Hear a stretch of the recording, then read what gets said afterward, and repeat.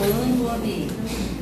Vamos começar a acalmar o ambiente, para que o ambiente fique propício, para que os bons espíritos possam vir até aqui e auxiliar a Sandra nesse trabalho, tá? Então vamos acalmando, acalmando. Pode começar até ele voltar, mas vamos diminuir um pouquinho. E aqueles que gostam de orar, façam um convite de orem. Fiquem em oração, tem uma casa assim. Então nós acreditamos na influência espiritual. E nesse momento que a gente quer que todos os nossos amigos da espiritualidade estejam aqui conosco. Então vamos até você voltar. Quando ele voltar, e a gente vai fazer a oração e aí eu falo mais com vocês. Bom? Obrigada, gente.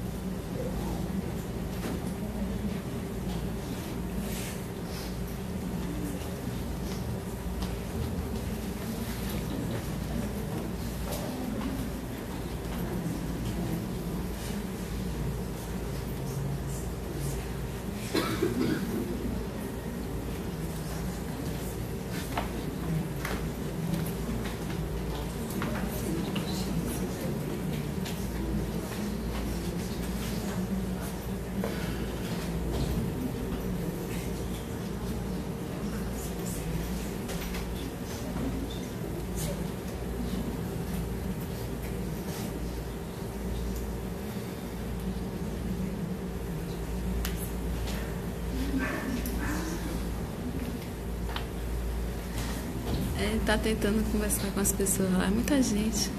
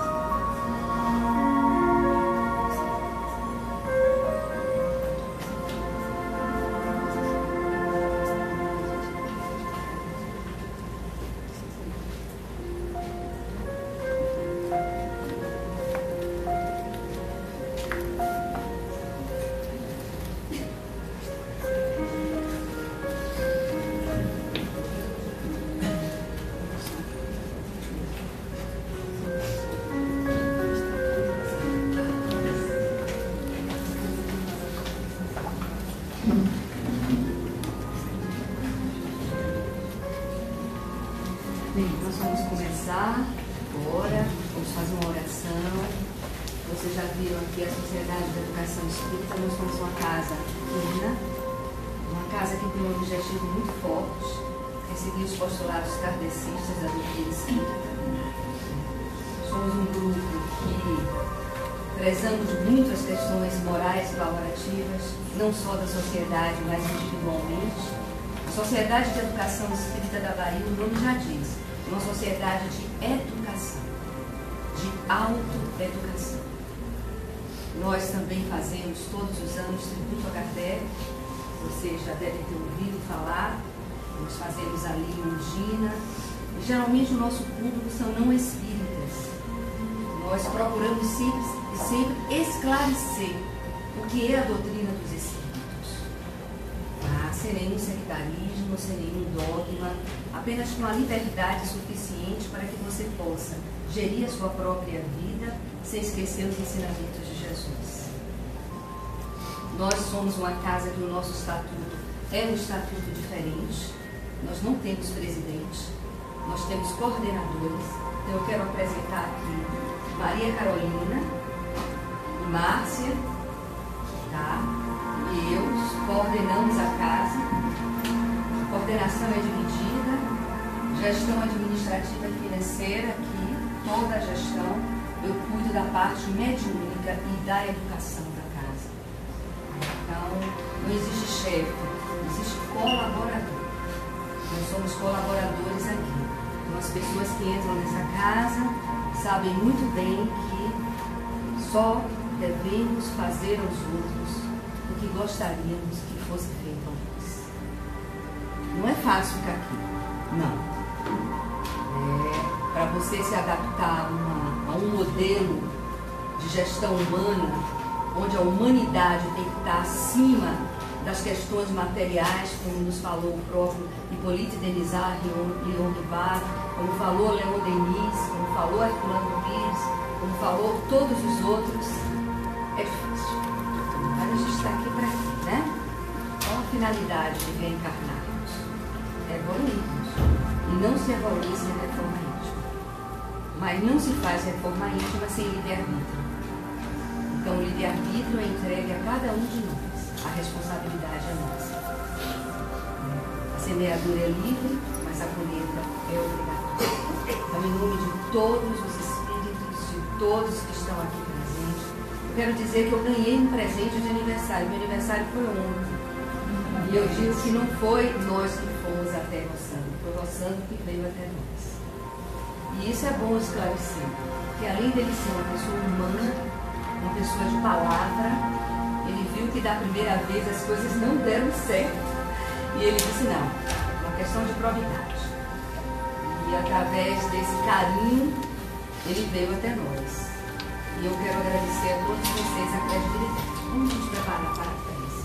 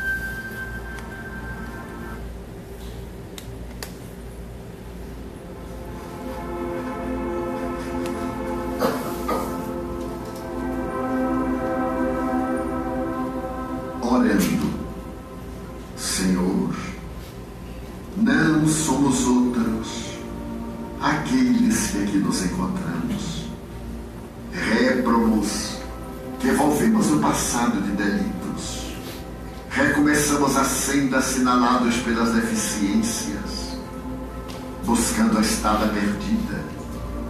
Volvemos aos pêlanos vorazes onde nos afogamos aguardando a barca da tua misericórdia que nos levará ao porto da paz. Não nos atrevemos a pedir-te justiça, que pesaria na economia das nossas almas. Suplicamos-te misericórdia, Senhor, e piedade para nossas limitações pelos nossos graves erros.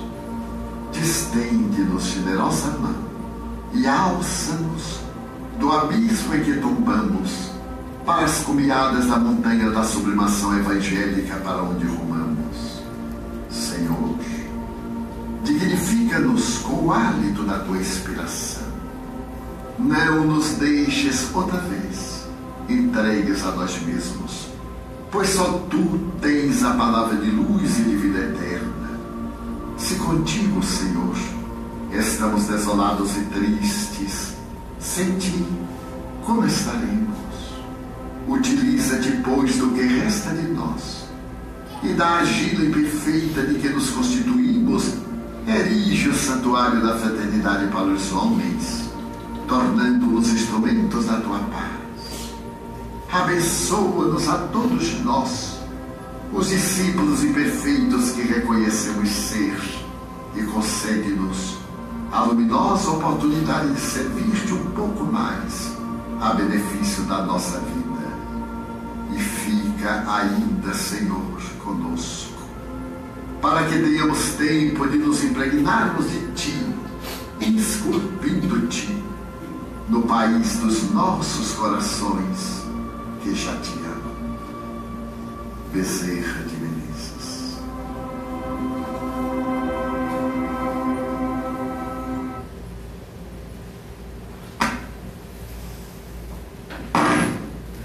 Bem, gente, Rossandro é um presente de Deus que chega aqui hoje em nossa casa.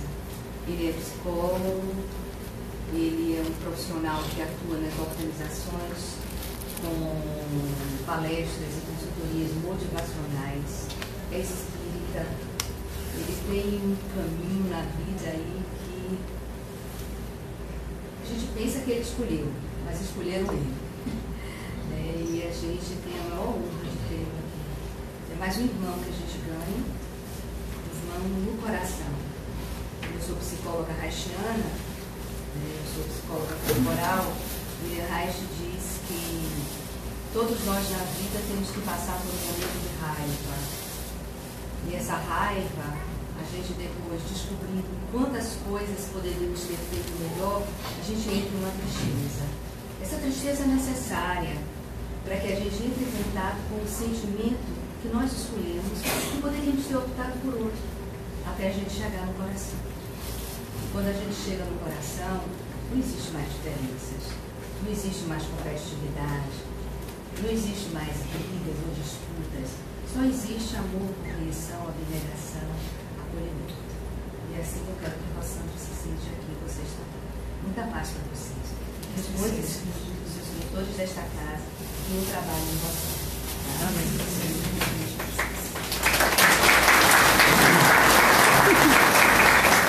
Boa noite a todos. Boa noite. Central Ocidental. é uma alegria muito grande estar aqui, né? Eu fui falar com o pessoal lá fora que a gente não, não foi uma coisa planejada, eu queria esclarecer para vocês entenderem como foi o processo de estar aqui, né? Na verdade, é, a gente sabe que é, a busca por Jesus, que é o objetivo da gente estar aqui, essa é a verdade, tem aumentado os nossos corações porque a gente tem finalmente sentido que os, os nossos recursos pessoais e a forma como a gente tem construído a vida não tem dado a resposta que a gente queria. Então a gente começa a perceber que a gente quer algo diferente, né? A gente tenta, a gente vai em várias religiões, todas têm propostas belíssimas, mas em algum momento a gente sintoniza uma ou outra, não importa qual seja, e nós aqui juntos, nós começamos a perceber que para nós a resposta, da forma como a gente sintoniza, seria a doutrina espírita. Então, naturalmente, a gente começa a buscar essa doutrina e ela tem crescido bastante, né? Então, o que o IBGE constatou é que em 10 anos nós crescemos 68%. Você compara com os evangélicos que eles cresceram 22%. Nós crescemos três vezes mais, mas a gente não tem TV, a gente não tem né, rádio, a gente não tem. Mas porque a gente já teve isso no passado, a gente sabe que não dá certo. Né? A gente tem que ter assim essa coisa mais simples. Né? E isso faz com que, é, como a gente não tem, digamos assim, a doutrina espírita não é para nós uma profissão. Nós não vivemos da fé. Né? Então o que, que acontece? Termina que poucas pessoas têm disponibilidade de viajar. E aí sobrecarrega, obviamente, as pessoas que fazem isso. E a gente gostaria muito de poder atender todos os convites carinhosos que nos são feitos. Muito, pode acreditar, eu digo isso assim, não de Haroldo, de tanta gente que é amigo pessoal, né? Porque assim, tem os, os que estão acima de nós, que são o tipo X-Men, que eu chamo. Divaldo é um X-Men, ele consegue fazer coisas que ninguém consegue. Então nem, nem, nem boto Divaldo, nem Raul nesse, nesse patrão. Mas nós, seres humanos comuns e normais. Então, termina que não tem como dar conta disso, ainda mais a esposa dizer assim, e aí, vai de novo, né? o casamento estressante, então a gente tem que conciliar. Como eu viajo muito profissionalmente, então eu procuro aproveitar que eu viajo, e aí quando for uma cidade que dá certo aproveitar a palestra profissional e fazer uma palestra espírita, eu aproveito e faço. Aí a casa não tem que ter um custo, não tem que pagar nada, né? A gente também não é, não vive assim bombando financeiramente, ainda mais agora. Então foi justamente nisso, o pessoal entrou em contato comigo, a gente já se conheceu antes, e aí isso foi uma coisa bem simples. Aí eu liguei, eu tô indo aí, aí então vim aqui, então foi só isso. A gente não imaginou que ia chegar e que muitas pessoas não poderiam entrar, enfim. Né? E de outra, toda forma, assim, eu já falei que outras vezes que eu vier, eu venho em outras casas, a gente fica veio com o maior carinho, veio muito aqui a Salvador. A última vez que eu vim, fui fazer uma palestra no shopping da Bahia, fui com minha querida amiga André, que é diretora de marketing de lá. E agora é numa rede de educação da Somos, que está aqui junto comigo, amanhã a gente está na escola. Então sempre que eu vier, eu vou ter o maior prazer, a maior alegria de estar junto com vocês, né? Vocês podem ter certeza disso. Mas assim, eu fiquei meio, meio angustiado quando eu fui lá fora, né? Porque aí os discursos que deixa você meio triste, assim, eu andei 600 quilômetros e tal, mas enfim. É, o importante é saber assim, que não foi em busca de mim, é em busca de Cristo. Porque na verdade essa, é, quem tem realmente toda essa força, essa luz, que dá uma sensação de acolhimento é ele. A gente é um mero instrumento de trabalho, enfim. No fim eu estava chegando lá, não, eu sou normal, eu faço tudo que vocês fazem. Eu boto o dedo no nariz, eu passo mal, né? Porque nós, na verdade, somos humanos, nós temos, nós, nós temos as nossas limitações. Mas eu fico, eu fico muito feliz da gente poder aqui estar junto nesse processo. E, e, aí quando você falou que eu não escolhi, na verdade eu não escolhi mesmo não. Para ser franco a vocês, eu tinha maior medo de falar em público, era terrível. Mas quando eu tinha 14 anos, minha mãe, minha mãe era médium e ela disse assim que eu ia fazer palestra no mundo todo. E eu ri muito na época, eu era evangélico, né? Você não quer ser pastor? E ela disse assim, eu não sei se vai ser como pastor, mas assim, eu tô vendo, mas você só pode ser um louco, eu até lembro que eu disse assim pra ela, porque eu não consigo nem ler em público. Aí ela disse assim, você acha que você vai ter 14 anos do resto da vida? Você não vai amadurecer. Eu tô vendo um homem, eu tô vendo um guri falando. Então tá, deixa a vida que segue. Realmente não era plano, mas enfim, a gente. As coisas não são, não são assim como a gente planeja. E as, comecei a dar aula na universidade, as coisas foram fluindo.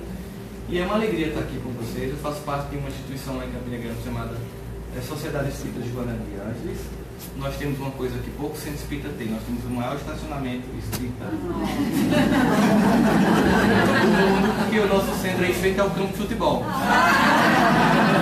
Então o estacionamento é só nosso, porque fica lá todo ligadinho pra gente na frente dos cruzamentos. Né? De vez em quando tem jogo, aí competem com a gente, mas assim, o centro tem o maior estacionamento do mundo é o meu. A Sociedade Espírita de Diante também faz parte de um outro lá que é Correndo Esperança, um centro bem menorzinho, né? Ou seja, tem uma média de 700 pessoas morando um pouco, já com esperança, é 20 pessoas, 30, então assim, eu acho muito bom, né? Não tem como a gente não controlar, tem espírita que tem que ser maior mesmo, tem espírita que eu vou, que você chega lá na reunião pública, tem 5 mil pessoas, né? Normal, e às vezes tem várias reuniões simultâneas, é um movimento crescendo, é a busca do Evangelho. E essa busca, ela, ela leva a certos pontos na nossa vida, entre eles essa questão do auto-perdão.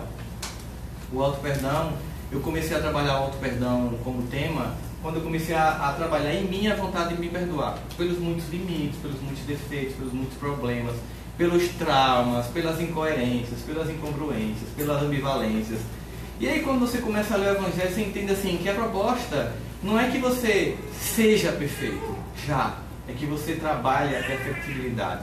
E que para isso acontecer a gente tem que aceitar quem somos. Só que a sociedade colocou um monte de parâmetro que nos faz se sentir menor, esmagados, feios, burros, incapazes, incompetentes. E essa é a maior estratégia que existe para obsediar uma pessoa. Quando a pessoa se sente assim, o obsessor tira férias. Porque você está fazendo o trabalho dele com muito mais competência. Você já não acredita que é capaz, você não acredita que não pode nada, né? Eu digo muito que mais ou menos é como aquele discurso, Jesus de um lado dizendo uma coisa e o mundo do outro. O mundo fazendo assim, você não vale nada, Jesus, mas eu gosto de você. Então, assim, você Jesus gosta de mim, mesmo aspas, não valendo nada, o que será que significa isso? Será que esse não valer nada não é uma avaliação incorreta que eu faço de mim, dos meus conceitos, das minhas percepções? E talvez eu tenha que ter uma, uma visão mais condescendente. Quando a gente pensa nos, em números de personagens que Jesus encontra no Evangelho, a gente percebe que ele lança um olhar sobre eles que nem eles têm sobre eles mesmos. E aí, por que que, se ele consegue ver na mulher adúltera, em Zaqueu, né, no, no cego Jeremeu, assim, se ele consegue ver naquelas pessoas que a gente talvez nem quiser chegar perto, que embora a gente não tenha um ótimo muito bom, mais perto deles a gente até sempre melhor, se Jesus conseguia ver tanta potência nessas pessoas, a gente chega a uma conclusão.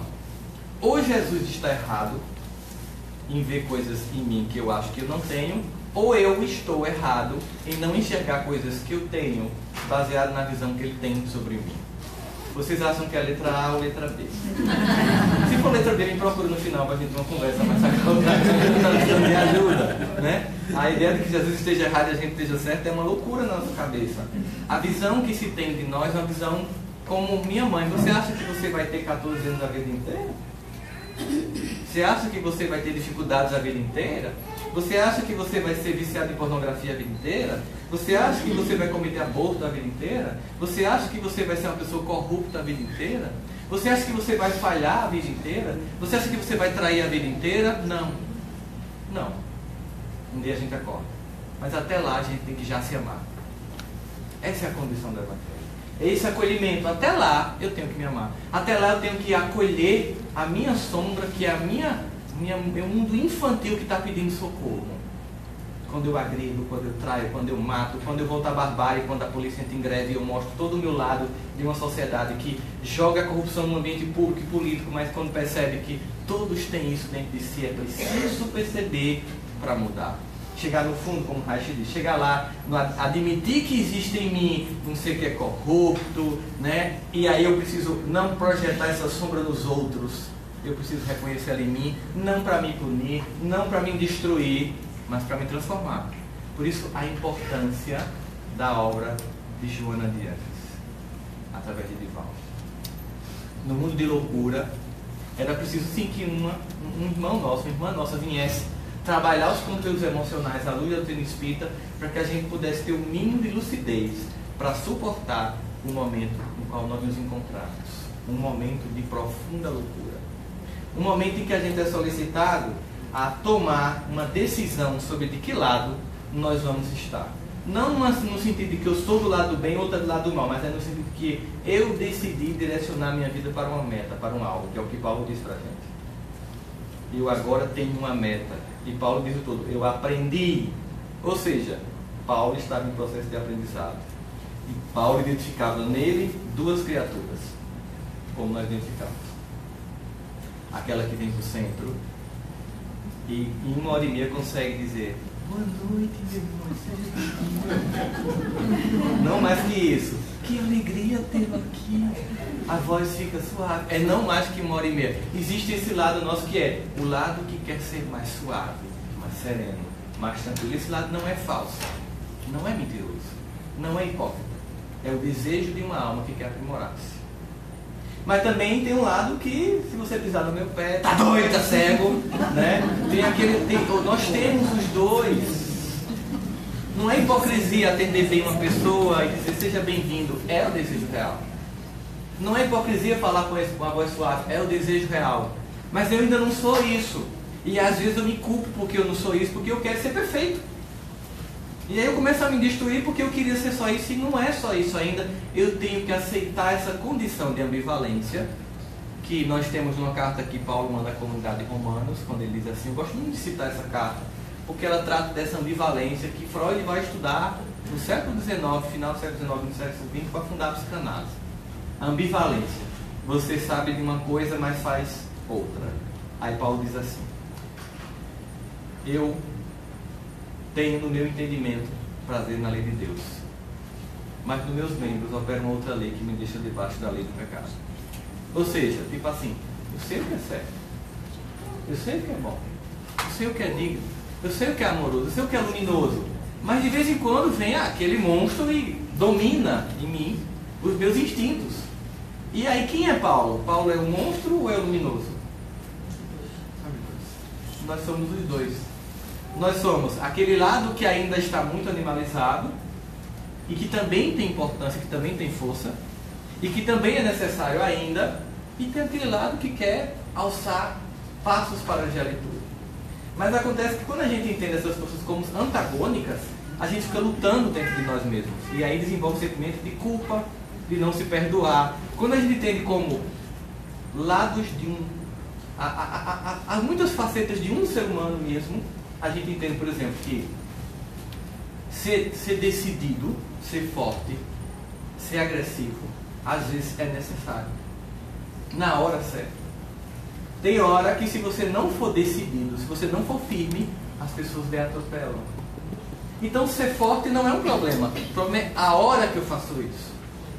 Falar alto assim, epa, é importante. Tem hora que tem que se falar alto, mas não é todo momento. Ser suave também é importante, mas não em todo momento e não com toda pessoa. Tem gente que não vai entender suavidade. Você vê lá, a gente está lá na descrição do nosso lar, quando eles vão às regiões mais sombrias, eu estava vindo para cá ouvindo o áudio da radionovela Memórias de um Suicida. Vocês já ouviram as audionovelas que estão sendo feitas? Todas no YouTube, gente. Você baixa para escutar no celular. São os livros espíritas em radionovela. É fantástico. Você viaja entra no clima mesmo. Estava no avião chorando, o cara sem entender do lado, mas eu estava ouvindo lá a narrativa do cara no Vale dos Suicidas, então eu estava lá envolvido. Quando eu olhei o cara ali para mim, eu, estava ouvindo a novela. Então você está lá, eles entram para acessar os espíritos em sofrimento, mas eles entram com batedores. Porque também é necessário em algum momento usar força naquele momento, na hora certa. Quando Jesus chega no centro de templo, ele faz assim, raça de víboras. Ali não dava para dizer, queridos irmãos. Porque existe a diferença entre gentileza e gentileza. Então diferencie gentileza e gentileza. Tem hora que você precisa ser assertivo. O que, que tem acontecido com muitos pais na educação dos filhos? Porque querem apenas ser amorosos e não vigorosos, tem destruído a formatação do caráter dos filhos. Porque não sabem se impor e se fazer respeitar, não são mais amados pelos pais. E criam pequenos déspotas, sendo os pais e a mãe serviçais de crianças egocêntricas e narcisistas mas não é o tema de hoje não, vai depender muito da gente. Continuemos, continuemos do alto perdão. Nesse processo todo do alto perdão, a gente começa a ver são assim a proposta do Evangelho sobre isso. Então, eu selecionei uma, uma, umas coisas interessantes para a gente pensar junto aqui. Olha só. No capítulo das bem-aventuranças, imagina só, Jesus chega e conta todas aquelas bem-aventurados que têm fome e sede de justiça, porque serão consolados tal tudo que qualquer um de nós quer ouvir. Em algum momento, nós poderemos herdar tudo isso. Aí você fica com a sensação. Então existe um depósito espiritual de todas as possibilidades luminosas que está a meu dispor. Por que, que eu não saco isso? Qual é a senha? Que eu não estou conseguindo. Aí você lê a Bíblia e você pensa, poxa, será que, que por que, que comigo não acontece? Tanta promessa e comigo não acontece. Aí você pensa, é karma. Eu devo ter sido muito ruim vida. Aí espírita que não estuda muito, ele começa a dizer, eu fui nazista, eu joguei pedra na cruz, eu fiz parte da turma do Gengis Khan, eu comei bru, eu queimei bruxa, eu bati em escravo, eu, peguei, eu, eu, eu é quem criei o Pelourinho na Bahia, eu fui eu tava com força no negão, era ruim, feito gente, só pode ser isso. Né? A gente começa a esquecer que Deus é misericordioso. A gente pensa que ele é uma de uma justiça cega. Fez, vai pagar. Não é assim. A gente pensa, não, não é karma não. Deve ser destino. Está escrito, né? Maktub. Não é azar mesmo. Só uma pitinha do Senhor do Bonfim vai É, você pensa todas as possibilidades. Eu até ganhei um sabonete sal grosso hoje. Chiquérrimo, já mandei a foto pra Janine. Show Urucubaca, o nome do sabonete. é, coisa de baiano, né? Aí você, você começa a se questionar assim, será que Deus esqueceu de mim? Será que ele não vê a minha dor, minha angústia no meu quarto chorando? Quando muitas vezes pessoas lá fora não representam tudo que eu sinto de dor, de angústia, de vontade de desistir da vida, será que eles esqueceram de mim? Tem um salmista chamado Azef. Azef era um tocador de símbolo. Símbolo que está lá em 1 Coríntios 3, ainda que eu falasse a língua dos homens dos anjos, não tivesse amor, seria como um símbolo que retine. É prato. Ele tocava prato no templo. Salomão conheceu Azef, achou que ele tocava muito bem e levou ele para a cidade central para ficar na frente do templo, tocando e regendo o coral e fazia os salmos. Os 150 salmos do Antigo Testamento são hinos que eram cantados na entrada do templo. Desses 150, Davi compôs 105. Era bom. Hoje ele bombaria, né? ganharia muito dinheiro com direitos autorais. 105 salmos de 150. Azef fez 7. E os outros filhos dele mais 7. Mas ele tem dois, 71 e 77, que ele dizia assim: Deus, você esqueceu de mim? Eu tento dormir e não consigo. E o bichinho não tinha rivotril. Mas não sei o que ele fazia para dormir, nem Lexotan. E aí fica naquela: Eu tento dormir e não consigo. Mas ele assim: Eu não quero ser consolado. Eu estou com raiva. Porque diz assim: Eu vejo minha vida com dificuldade, dos ímpios a prosperidade. As pessoas ruins crescem e eu não eu percebi uma coisa na relação com Deus. Quanto mais perto você fica dele, mais o débito é online. Quanto mais distante, mais é no crédito. Mas observa a diferença. Quem paga no débito é porque já tem dinheiro na conta. Quem paga no crédito é porque não tem dinheiro para pagar na hora. E aí a gente faz o quê? Fica pagando o mínimo na encarnação. Já passaram o tempo pagando cartão no mínimo, eu já tive esse momento também. Rapaz, quando eu vi a bola de neve, na tristeza. Eu lembro que na época eu vendia as ações da linha telefônica. Era, é, aí eu peguei e vendi as ações da linha telefônica, já tinham né, privatizado tudo, só, só sobrou isso, e agradecer a Deus que eu tinha muita coisa. E paguei o cartão e aí criei um trauma. Nunca pague o mínimo do cartão. É melhor o débito do que o crédito. E aí a CEF entendeu. Quando a gente está mais próximo de Deus, a gente está mais fortalecido para imediatamente pagar e se refazer diante da lei. E isso gera um aprendizado mais rápido. Se seu cachorro fizer cocô na sala e você decidir assim, não, à noite eu bato nele, ele vai entender? Não. Ele só entende se você fizer uma associação de causa e efeito. Na hora eu bato para ele entender que aquilo não pode ser feito naquele lugar. Assim é quem paga de débito. Quem paga no crédito esquece. Quando vem a conta, fica dizendo, foi que eu fiz. Como Deus é muito amoroso, ele apaga a memória da gente para a gente não lembrar o que a gente fez. Porque basicamente a essa pergunta, o que foi que eu fiz, meu Deus, por estar passando por tudo que eu estou passando, a resposta é silêncio. Não é verdade? Porque se vinha essa resposta e a gente soubesse exatamente o que a gente fez, a gente ia dizer, manda mais, é pouco. Mas Deus é muito misericordioso, é muito cavalheiro é muito amoroso. E esse esquecimento é para que a gente pense o seguinte: foco no agora. Porque o maior problema nosso não é o que a gente fez, é o que a gente continua fazendo. Porque no momento em que eu deixar de fazer, quando eu mudar o vetor, eu mudo a trajetória. Saulo era um homem de vigor, era um homem forte, era um homem decidido, tinha força. Isso era um defeito em Saulo? Não defeito era aonde ele estava usando isso. Quando Jesus olhou assim, poxa, eu preciso de um cara desse. Para dar dimensão a essa mensagem, eu preciso de um CEO como Paulo, chefe executivo office. Porque imagine o cristianismo como uma franquia, tem que abrir em vários lugares. E os discípulos estavam ali naquela discussão na Judéia, tem ou não tem circuncisão, não sei o que, estou com medo. Não, tem que ser um cara como esse. Ele foi lá e pegou um cara do mercado, dominava várias línguas, né? era romano e ao mesmo tempo judeu, falava grego, falava, falava é, é, latim, falava hebraico. Então, esse cara era um cara bom. Agora só que ele estava para cá. Então, pega essa energia dele e coloca cá. Saulo, Paulo. A mesma energia. Ele foi se dulcificando, ele fez, enfim, enfim, aprendi viver por muito e a viver por pouco, a viver na abundância e a viver na escassez.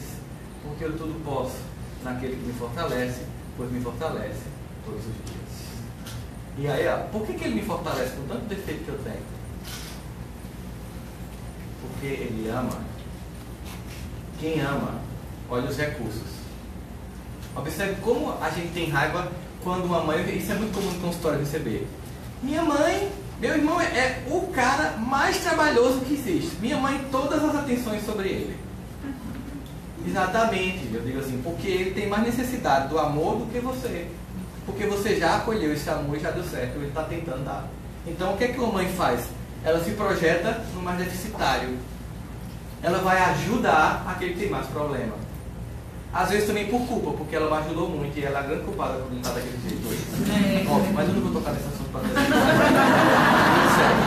Então a gente começa a sentir né, essa questão toda do, do da angústia do, do aceitar-se a si mesmo, do processo da, da aceitação, é quando a gente começa a pensar, poxa, mas eu não posso ficar achando que essas bênçãos não acontecem comigo, por que, que eu, eu tenho que fazer? Aí quando você começa a pensar, bom, deve, se isso não acontece porque é karma, porque é destino, porque é alguma coisa, porque é azar, deve ter alguma forma de conseguir. Aí você começa a negociar com Deus, né? Aí você implora, faz promessa, vai lá, lava, lava a ladeira do bom fim, as escadarias. Você faz o que você pode.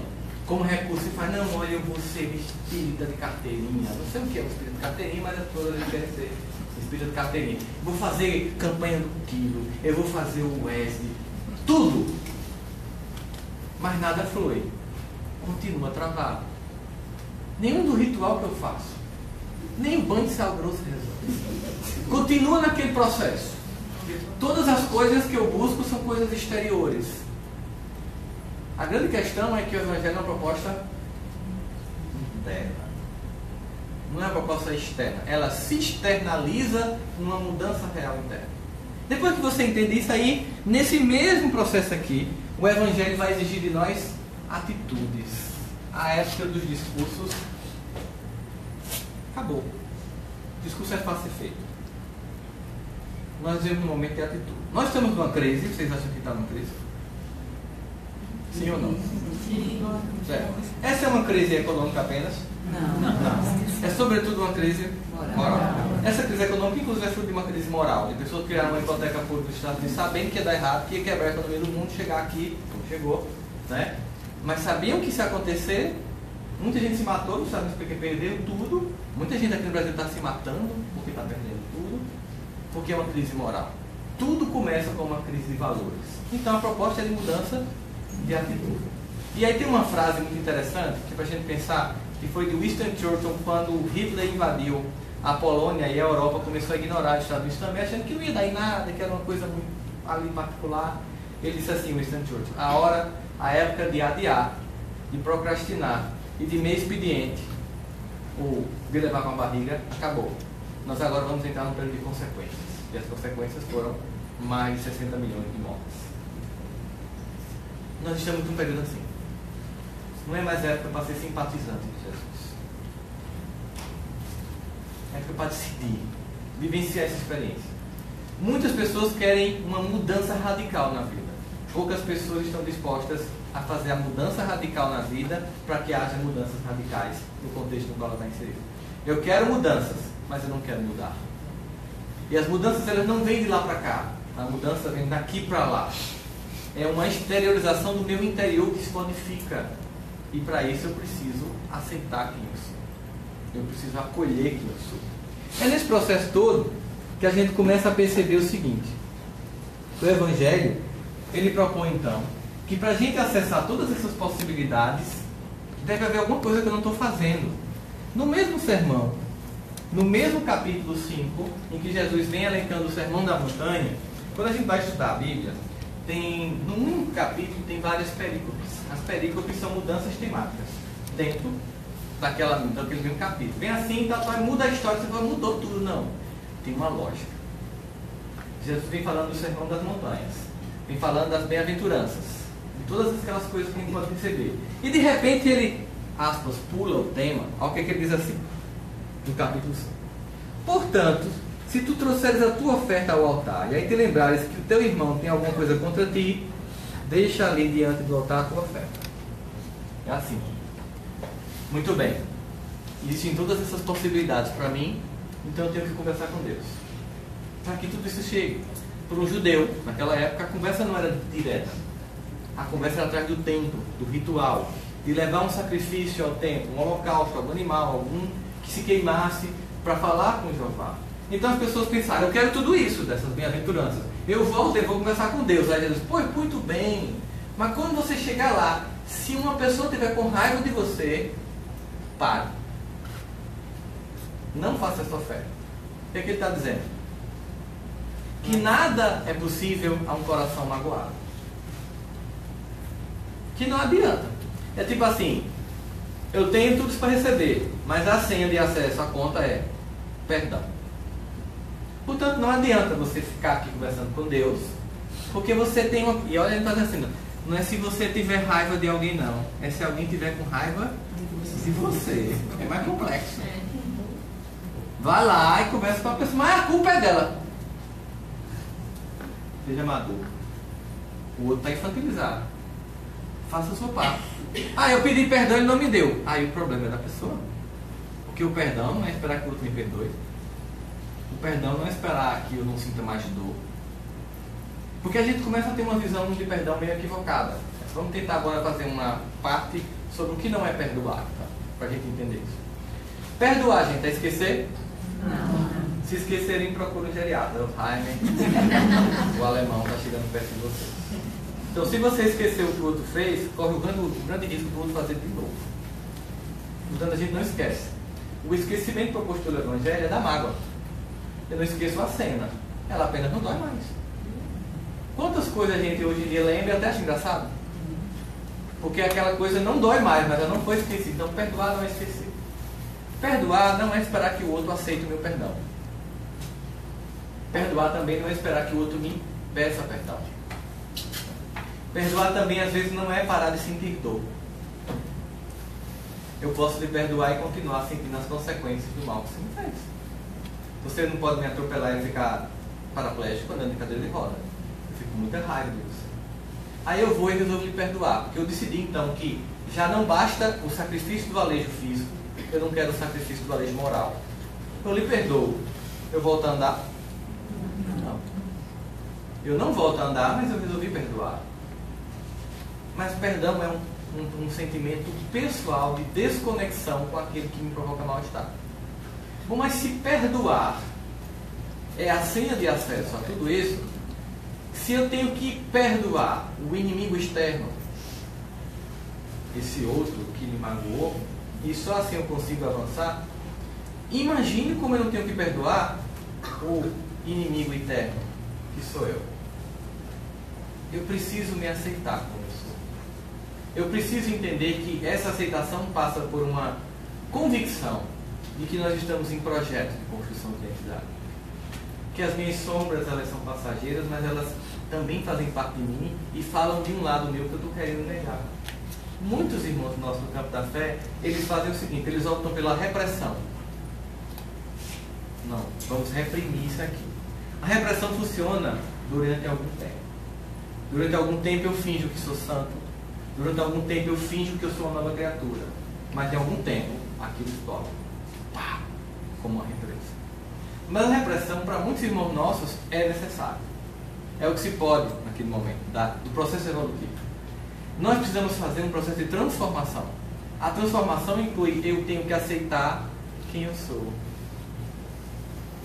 para me tornar uma pessoa legal. Eu tenho que acolher as sombras que eu tenho, porque são crianças internas minhas que estão pedindo socorro, carinho, acolhimento.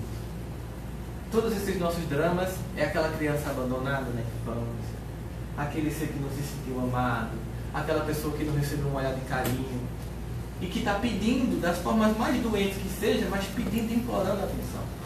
E quando essa criança vem e chama atenção, a gente faz, menino, que coisa feia, e não acolhe e não aceita. É como se os, ah, o sentimento que tem, tem um sentimento de misericórdia.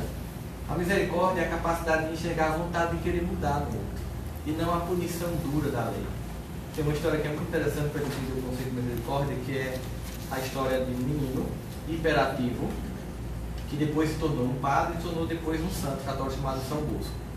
Ele era uma criança imperativa, na época que não tinha ritalina nem terapeuta infantil para. E aí o que, que aconteceu? Um dia ele chegou, entrou no, no, na cozinha da mãe, quebrou um pote de óleo, aí imagina, óleo no chão. Ele imaginou toda a cena clássica do que aconteceria com ele, porque claramente todo mundo que é né, danado sabe o que vai acontecer. Aí ele pegou, limpou o óleo todinho da cozinha, jogou os cacos, pote lá fora. Toda vez que a mãe chegava, que ele tinha feito uma traquinagem, ela ia lá fora no quintal, pegava um pedacinho de graveto para bater nele. Ele pegou o graveto, tirou logo e tirou as frestas porque doeria menos. Limpou, deixou lisinho. E ficou esperando a mãe na porta, com a varinha aqui atrás, aquele comportamento incomum. E vocês sabem que ainda é preciso muita explicação para isso.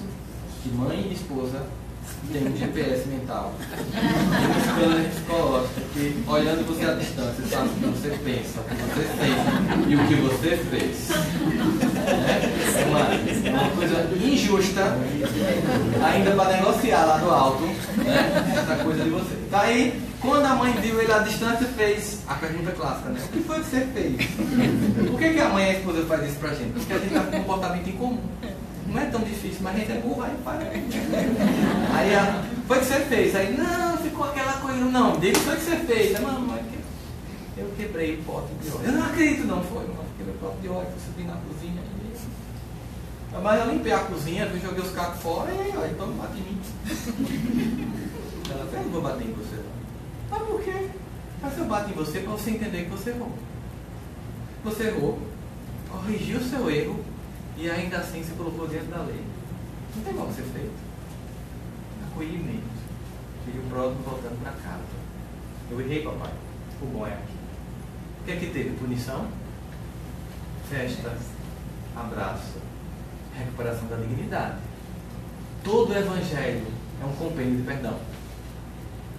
Todo o evangelho é um compêndio de reconciliação de nós para com Deus e de nós para conosco mesmos e da gente para com os outros. É uma solicitação de vamos voltar a ser família, vamos voltar a viver junto, mas vamos nos aceitar como nós somos. Sabe a vantagem quando a gente se perdoa? É que quando você se perdoa, você começa a perceber o quanto você pode ver com as pessoas. Porque se você se aceita cheio de defeito, você não quer mais que ninguém mude não. Você desiste de mudar sua esposa, de mudar seu esposo. E aí você passa a viver com o melhor que essa pessoa tem com o lado bom dessa pessoa. Descobrir defeitos é doloroso. Gente. Uma vez eu estava trabalhando e um colega meu chegou esforçando, eu comprei um carro novo. Nem ver e eu fui ver. Isso era uma sexta-feira, como hoje. Cinco e meia da tarde, eu saí do estacionamento da clínica para ele mostrar o carro dele. Perdi meu final de semana. Um ódio mortal.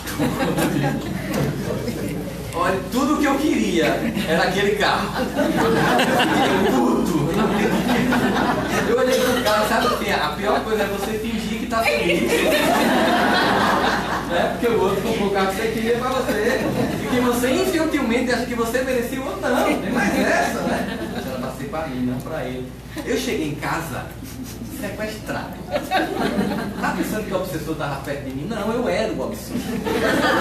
Eu, tava numa, eu comandava legião naquele Eu cheguei em casa sequestrado, cheguei em casa revoltado, cheguei em casa e minha esposa falou, o que foi? Não, nada. Nada. O que foi? Não, nada, nada, nada. Não besteira, nada. Conta, não, nada, nada. Aí a gente almoçou em silêncio. Trocar esse carro. Por quê? Não, é um carro mais seguro, eu viajo muito. Esse carro não é seguro? Não, é um carro maior, esse carro não é grande, não. Tu tá querendo o que? Aparecer? Não, tá vendo? Você não me entende. Aí você já tava agredindo ela. Né? Se eu tivesse laser na hora que ele mostrou o carro, É nessa hora que você entende a frase, Deus não dá asa Essa a cobra já é perigosa, voando seria triste. Voando. A bicha arrastando já. E aí eu pensei, meu Deus, aí eu comecei a passar o final de semana em sites de financiamento de carro. Eu entrava no site do banco, aí calculava financiamento para comprar um carro. Taxas e mais taxas para ver chegar uma taxa. Eu calculei em algum momento, eu cheguei à conclusão que daria para comprar o carro dele se eu passar seis meses sem o almoço. é, né, a moça falando assim, jantava. É sacrifício uma coisa nobre. Enfim, quando mais ou menos deu 11 da noite do domingo, olha só, da sexta de 6 da tarde até domingo de 11 da noite, eu estava sequestrado com inveja crua e nua. Aí, em algum momento, me veio uma sensação de que Eu não preciso trocar meu carro. Aquilo me deu uma paz.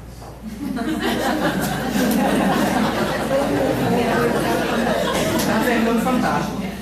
Eu tava no quarto, eu fiz. Aí assim, tá, voltei. Voltei, eu voltei ali. É, quer dizer, eu era o outro também. A verdade é que eu era os dois. Eu sou os dois, ainda sou. Então, o meu outro lado mais, mais maduro fez assando. Poxa, que besteira, eu sei que você queria esse carro. Talvez você ficasse achando bem massa. Quando você troca de carro, você não bota nem vídeo filme pra todo mundo ver que você tá dentro dele, é meu, né? Você tá precisando de. Você ainda tem esse ego infantil, Sandro? Eu entendo, eu aceito que você precisa disso. Por que você precisa disso? Você precisa de aparecer, se tornar importante, se sentir mais aceito. É isso, eu te aceito. Você é importante para mim. Você é importante para Deus. Você não precisa disso. Era mais ou menos esse diálogo de um lado meu falando com o outro. Era o meu adulto falando com minha criança, não punindo, coisa feia, inveja, nojenta, pro inferno, passar no umbral, mais do outro ano que André Luiz, é pouco, invejoso, nojento. Esse julgamento que a Aí eu cheguei na sala, aí a minha esposa olhou pra mim e ela percebeu que já tava melhor. Você tá melhor? Eu, acho que eu não tinha trocado de carro, não. Graças a Deus. Mas foi tão fantástica aquela experiência pra mim, porque assim, eu achava que eu não tinha muita inveja. E eu percebi que eu tenho uma inveja como todo mundo tem. Mas foi importante saber disso, porque só quando você sabe que você tem tudo isso, é que você acolhe o outro. Sem julgamento. Olha, eu fico pensando naquela cena da mulher adulta.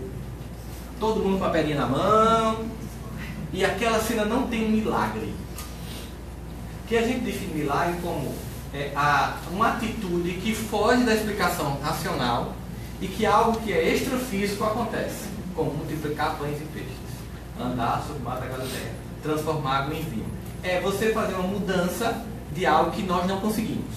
Nenhum de nós consegue, com o poder do pensamento, transformar isso aqui em vinho. Nenhum de nós consegue fazer esse copo flutuar. Ali não houve um milagre. Se Jesus quisesse apenas salvar a mulher adúltera, ele poderia, com certeza, antecipando uma tendência de Harry Potter, lançar uma capa de invisibilidade. E ela seria não mais vista por ninguém. Podia? Podia. Ele poderia, por exemplo, já que transformou água em vinho, transformar as pedras em areia. Não podia? Podia. Por que ele não fez isso? A quem ele queria salvar? A mulher ou a todos?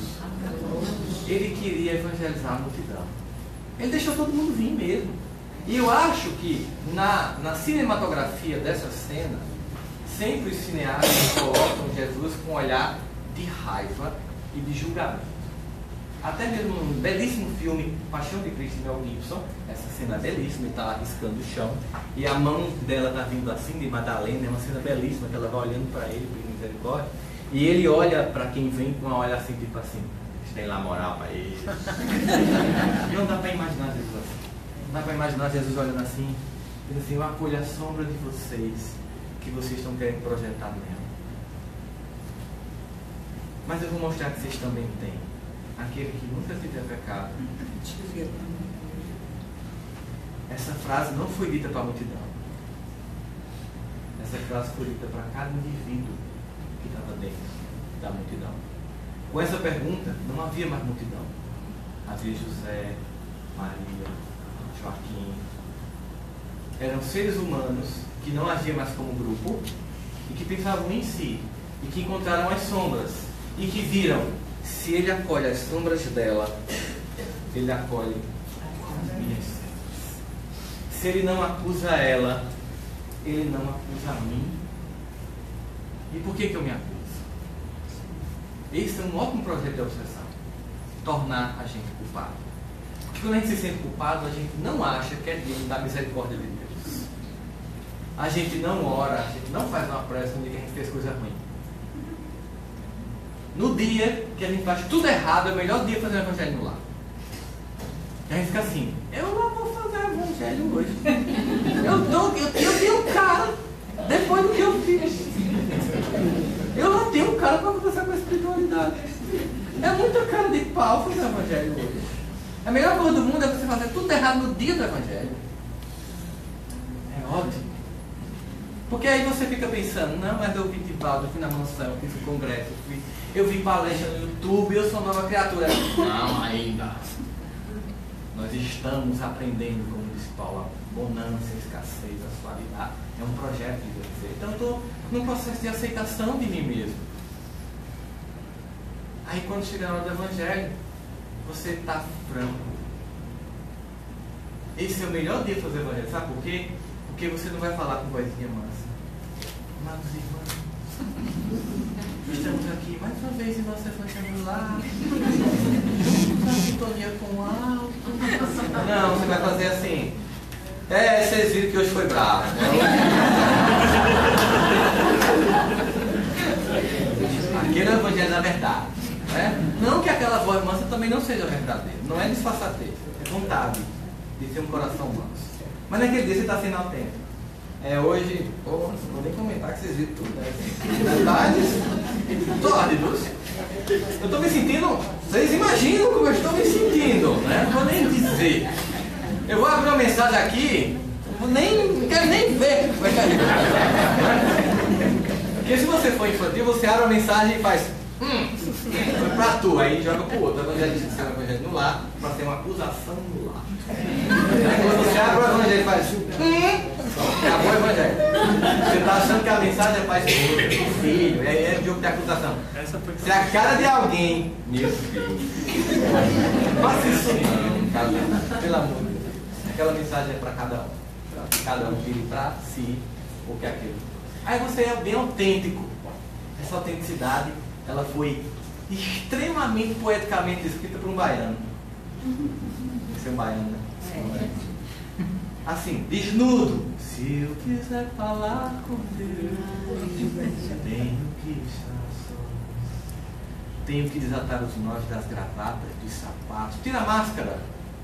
Fala com o papai desnudo como um bebê indefeso. E por isso mesmo, muito amado. Tira toda essa máscarazinha social.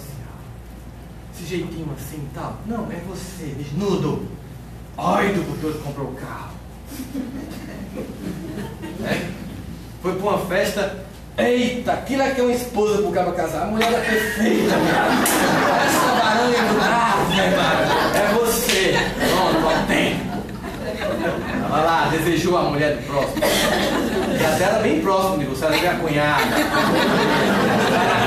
Não, você acusa.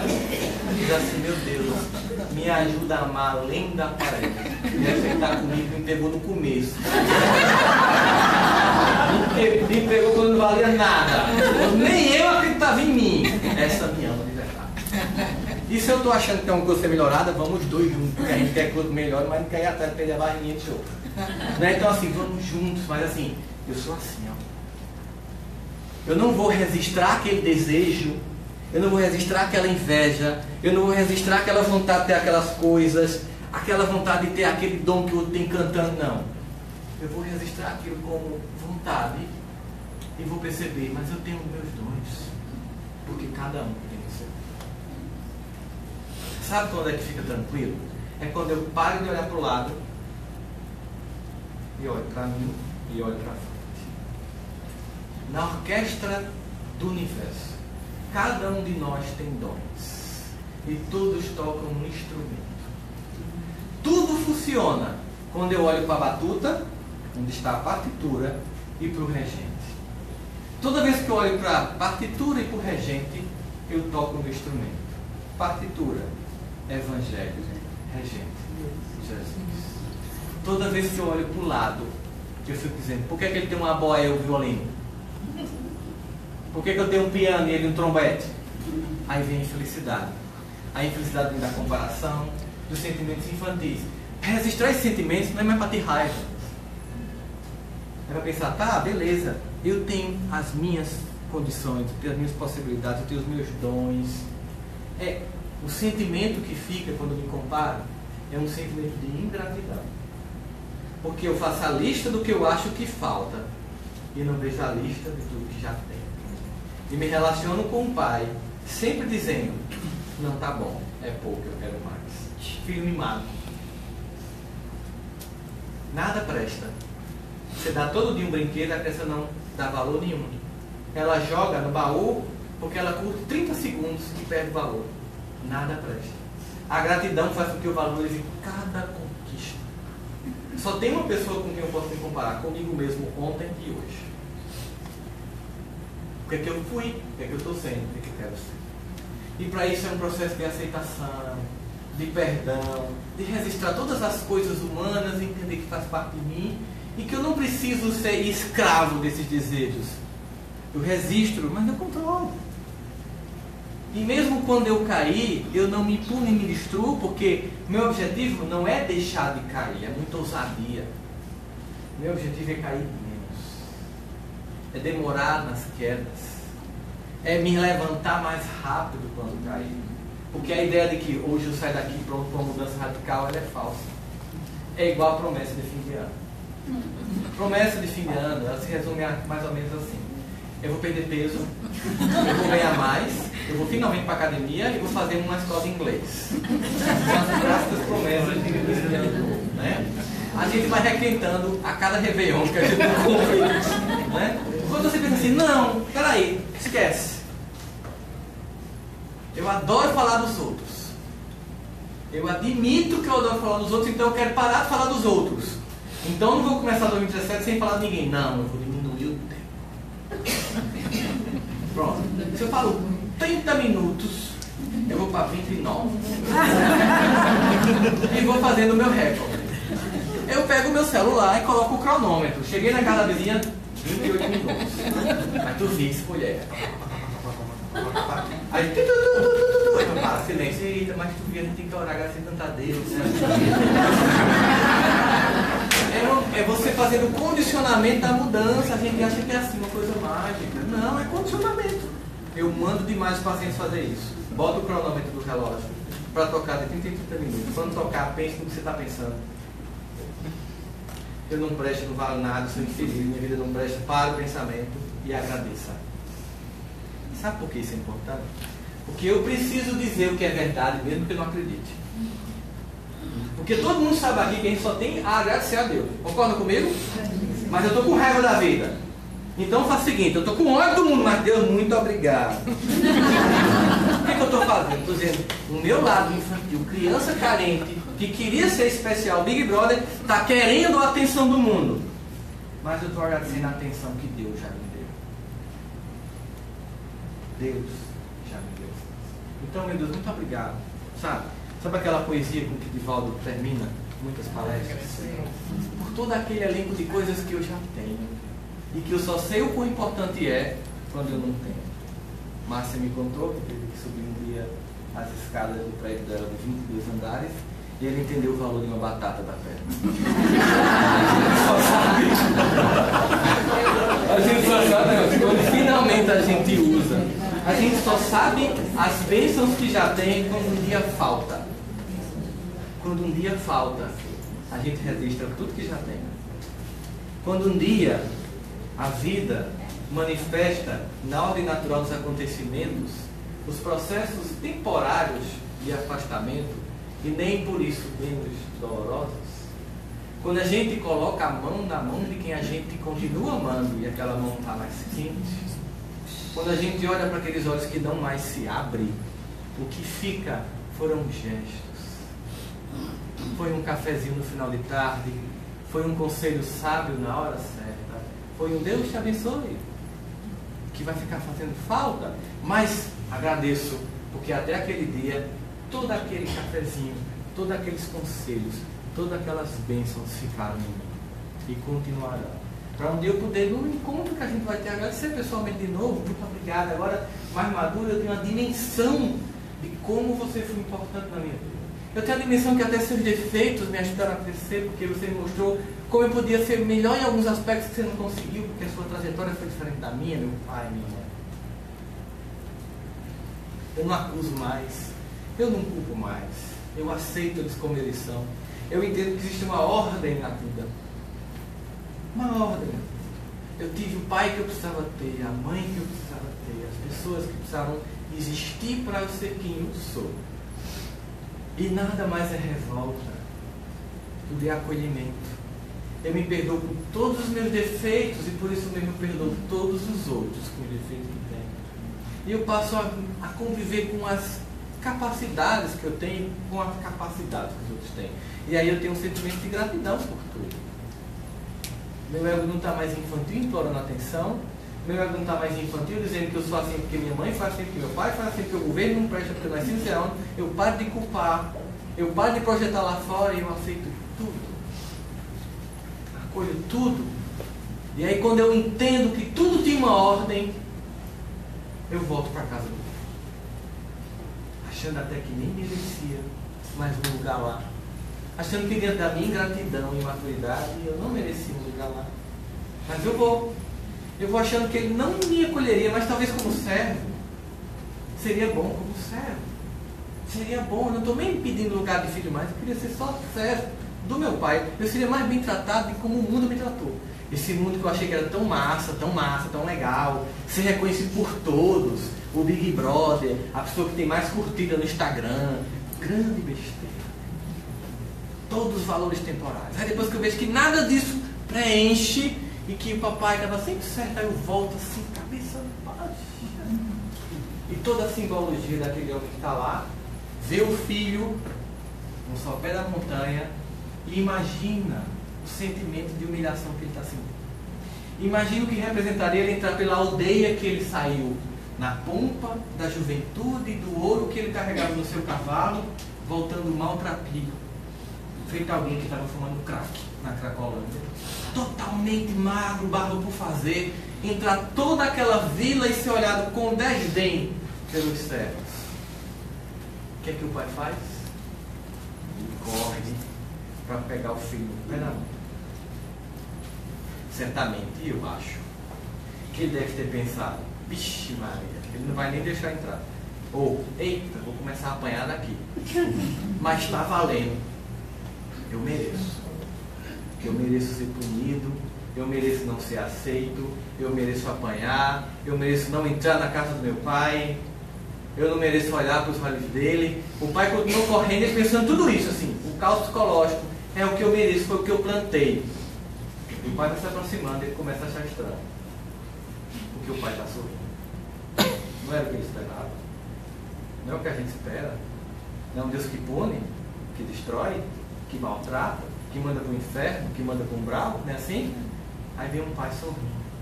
E ele começa a abrir os braços. Dá para compreender? É por isso que muitas vezes assim, a mensagem de Deus é loucura para a mente dos homens. O padrão de Deus é loucura para a gente.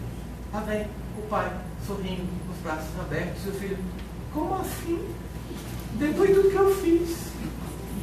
O sentimento é tão avassalador, tão avassalador, é tão incompreensível aquele mulher, ele se sente tão contaminado que ele se planeja se jogar no chão e se prostrar como um ato de gratidão. E o pai, percebendo que esse seria o gesto dele, corre um pouco mais rápido e agarra ele e beija o pescoço para impedir que ele se ajoelhe. Olha os detalhes da cena. Do acolhimento. O filho pródigo voltando para casa. Nada do que a gente espera da expectativa. Um pai que estava feliz porque o filho acordou. Ele aprendeu com as experiências. Ele viu os defeitos. Ele viu que apostar nos outros não daria muito coisa. Ele percebeu que o grande lugar de acolhimento estaria no coração do próprio pai, que era a grande representação de Deus, simbolicamente, naquele pai.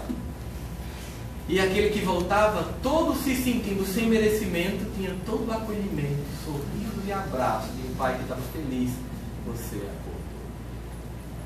Não importa quantas vezes foi necessário, você volta à escola da vida para ir cortando das ilusões do ressentimento, da não aceitação de si, da não aceitação do outro, do sentimento de achar que é superior ao outro, que sua raça é melhor, que sua cor é melhor, que seu conhecimento é melhor, que seu bairro é melhor. Isso é tudo infantil. É tudo filho. Eu imagino que quando Deus vê a gente nesses conflitos que a gente tem, é a mesma sensação que a gente tem quando a gente vai no colégio infantil, quando eu vou dar palestra, que você vai passando uma classe, uma sala de aula, e tem dois meninos de dois anos se mordendo. que, é que você faz quando você vê duas crianças quando uma mordendo na outra? Você ri e faz, ah meu Deus, que facilidade. Uma coisa. Oh, vamos aprender a crescer. Vem cá, papai ama tudo. Já. Papai ama já. Papai não ama se. Eu só vou lhe amar se você for assim. Eu já amo você assim. É uma condição que eu não posso melhorar. Nada do que eu faço fazer Deus me amar mais ou menos. A grande questão é comigo. Como eu vou amar mais ou menos? Se Deus já me ama assim, mas me colocou competências, me cabe usar. Sois a luz do mundo. Sois o sol Mais uma vez a pergunta é, isso é propaganda enganosa de Jesus ou palestra motivacional que ele fez na Judéia para ganhar dinheiro? ou ele estava dizendo uma verdade que eu não consigo enxergar? Por que, que ele via tanta luz em mim que eu não vejo? Porque eu me vejo com os olhos do mundo e não com os olhos de Deus. Eu me vejo com os olhos temporais, nos valores de competição, de agressão, de me sentir superior, de me sentir melhor. Esse é um sentimento doente, infantil. Deus não tem nada disso. Essas divisões humanas filhos e filhas. Simples assim. Quando eu me aceito na condição de filho de Deus, me permite colocar nessa condição de dependente total dele, aí eu começo a ver as pessoas como irmãos. Mas para perdoar os outros, eu preciso primeiro perdoar. Faça uma carta hoje quando chegar em casa. Faça uma carta que você, só para você não mostra para ninguém, por favor. que você declara todos os defeitos que só você sabe. Coloca lá inveja, ciúme, desejo, que coloca lá e aceita isso. Depois faz uma outra carta das tuas virtudes. E pensa que você é um arquivo único. Nem é um, nem é outro. É um dois. Faz carta de tudo que você não gosta dos outros mas faz a carta de toda a gratidão que você tem pelos outros Olha o mundo com mais maturidade, com mais suavidade, com mais leveza, com mais tranquilidade. A coisa melhor do mundo é esse reconhecimento.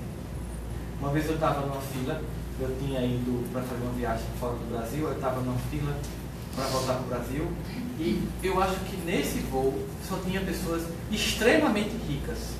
Mas era uma coisa tão ostensiva que eu comecei a me sentir mal. Eu estava na fila para tomar um café e eu olhei que todos tinham um relógio que no mínimo era 100 mil reais. Era tudo Rolex. Todo mundo tinha ternos assim que eu pronto, isso aí eu queria comprar, mas comprar. Aí eu fui murchando. Eu fui fazendo assim, eu percebi, eu fazendo assim na logo. Eu fui fazendo assim, fui envergando, envergando, a malinha do lado, ficando pequeno, quase um gnomo. Eu me senti tão pequeno que eu saí da fila. Aí eu saí da fila e fui embora, eu vou café. Aí no meio do caminho eu fiz, oxi, pronto, quem vai pegar meu café sou eu. Foi, foi. Eu voltei pra fila, pô, cara, tu vai pagar teu café, tu não tá pedindo ninguém não, deixa eu ser deixa. Que besteira, tem que ter um relógio 100 mil reais pra sentir gente. Cara, acorda. Cara, não conhece Jesus. É, eu conheço, mas tem hora que eu desconheço. Ele me conhece mais do que eu conheço ele, ainda esse é o problema. Né? E aí eu voltei pra fila pensando assim, eu fiz, eu fiz um, um na, nesse dia eu fiz um teste que eu fiz com um aluno uma vez, tá? Fazer aqui com um aluno. Eu estava dando aula sobre falar em público, não sei o que, motivação, do que era sobre gestão de pessoas, uma especialização. Aí o pai, alguém aqui é tímido? Umas três ou quatro pessoas que não quiseram levantar a mão foram apontadas pela porque eu tímido nem dizer que é. aí, fulano, fulano, aí, aí eu, você, aí, não, professor, eu peguei, não, favor, não, aí eu peguei, peguei a pessoa. Senta aqui. Ela vermelha, passada, acabada. Imagina isso. Eu ela podia ter morrido, obviamente. Todo mundo levanta. Venham pra cá, ela tá ficando mais tensa. A suar. Olhem para ela com cara de desdém e de crítica. Aí todo mundo assim pra ela. E eu, como é que tá? Ela péssimo. Extremamente desconfortável. Muito bem. Feche os olhos. Pense nas pessoas que você ama. Pense nelas. Pense no que você representa para elas. Pense na sua vida pessoal. Pense na tua casa, no teu quarto, no cafezinho da cozinha. Aí eu pergunto, como é que você está sentindo? Está ficando melhor. Continua, continua trazendo para você a sua essência. Esqueça dos olhares, pense em você. Estou pensando. Foi engraçado, a Fernanda assim na cadeira. Ela deixou de seguir com o olhar do mundo e passou a se olhar com o. Aí ela abriu os olhos. Aí disse, e agora? Como é que você está sentindo? Estou me sentindo bem. E esses olhares? Não me importa. Sabe por quê? Por quê? Porque ele não tem importância nenhuma.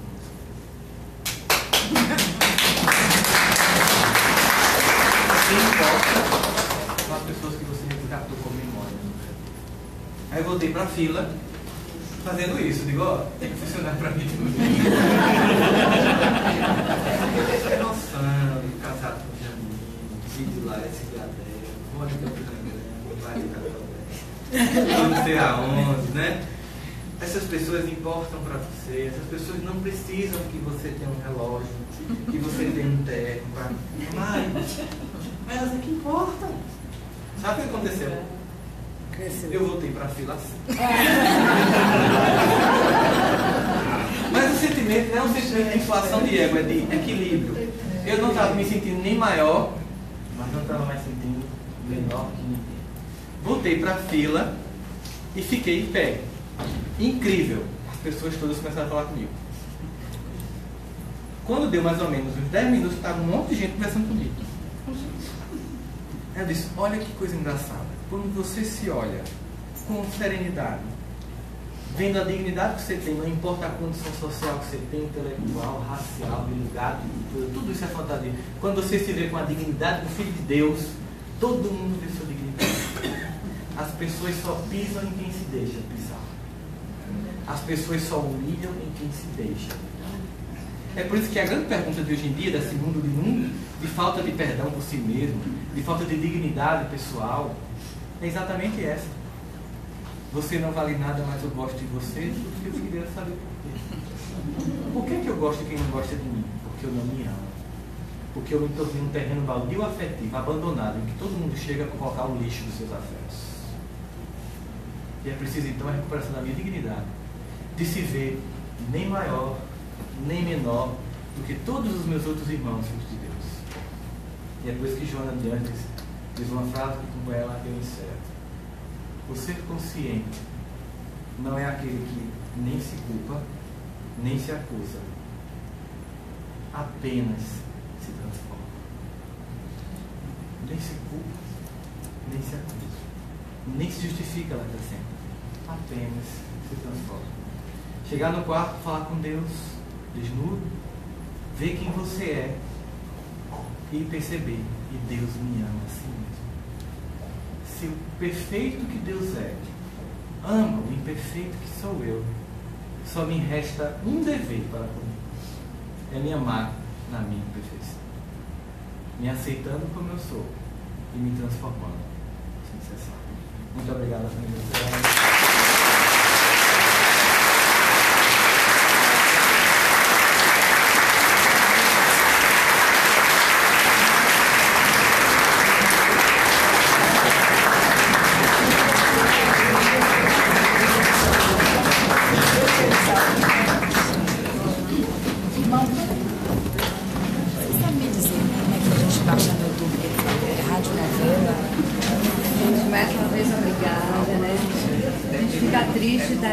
pessoas não terem podido entrar assistir roçando. Mas quantas outras pessoas nessa cidade, dia de sexta-feira, não estão em uma casa assim? Nós optamos em estar aqui hoje. Isso também é se amar. Saber o quanto isso é importante para a gente, né? Vamos nos preparar para a oração.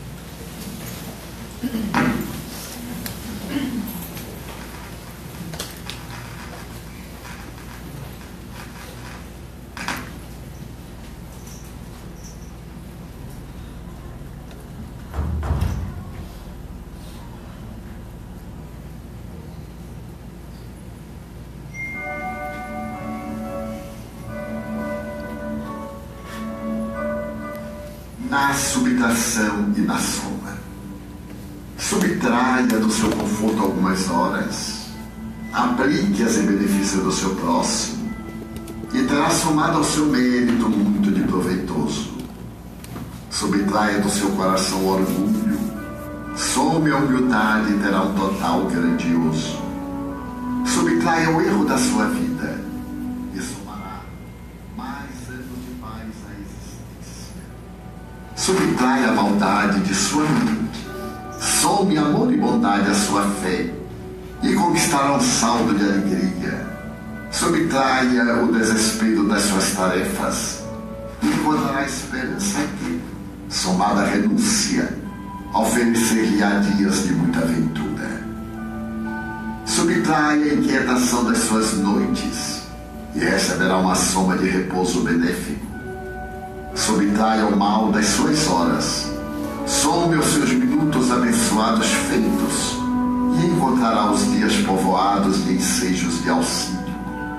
Subtraia os sombrios padrões de trabalho que o mundo lhe concede, na harmonia das coisas, e estará apto para o grande voo, sem o peso das dívidas. Marco Prisco.